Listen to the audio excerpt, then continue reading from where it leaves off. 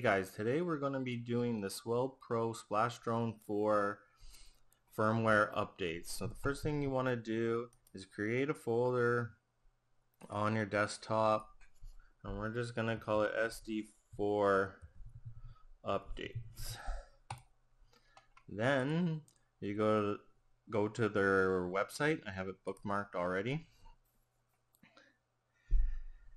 Uh, you want to go to obviously Splash Drone 4 and then download and you're going to go and download the firmware update tool.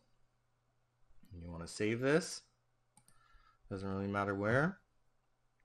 When it's finished downloading, you want to extract this file to the folder that we made. So that would be SD4 updates, extract. Okay. Then you want to extract the actual tool right here. We're going to extract it right in the same spot. Okay. So then this is the actual tool you want to run. And this is where we're going to put uh, the firmware that we download. Okay. So you go back to the SwellPro website and we're going to start with the flight controller. I'm going to download this, save.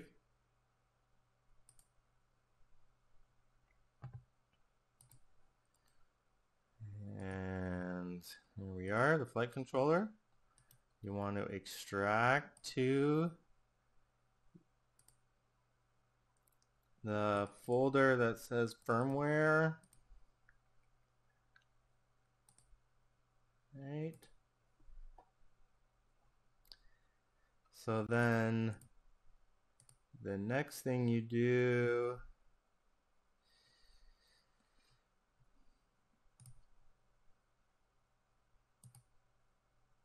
is you go to the firmware tool and you run the firmware tool, the Shark firmware version 2 exe. And this is okay, this is just precaution, run anyways. And you want to load the firmware. Okay. Into the firmware tool. Okay, so you want to do this undo that and you know, open it to the firmware tool. Then you want to plug in your drone. Make sure it's standing upright. I've always had better results with it upright. And then you power it on, the drone.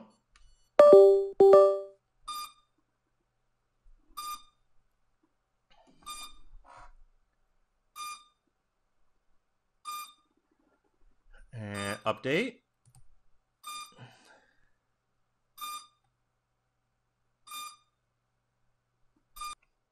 Now we'll do the firmware on the remote controller.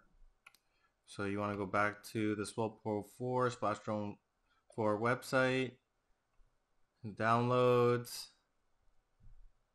Splash Drone 4 remote controller firmware. So you download this, save, right? Remote controller firmware. Okay, and we're gonna go to show in folder. We want to extract this to the firmware folder that we made earlier. Okay, select, extract a radio, right? So now you want to open up your tool.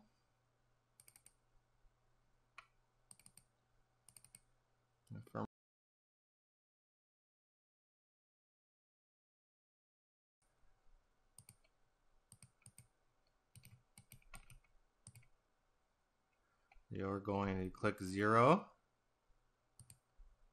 And if it's not loaded already, you can load it just by doing this.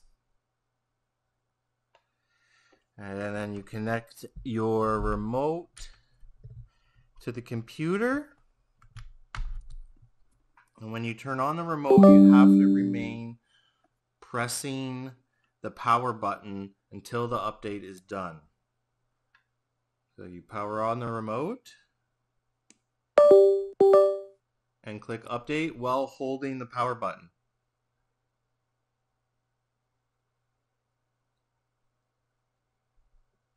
Okay, and for the last one, um, you don't need the tool or anything. So we want to go to the gimbal software. I'm going to go to save SG SC3-S gimbal software. Okay. Show in folder. Okay, extract to the firmware folder we have. Okay.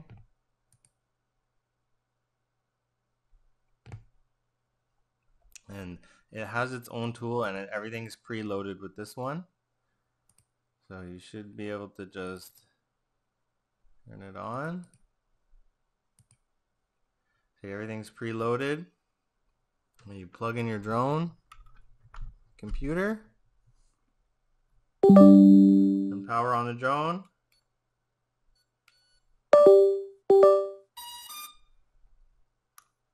And click update.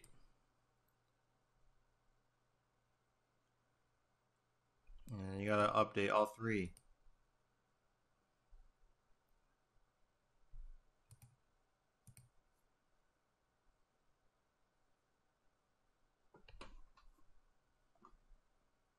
There, now your drone is fully updated.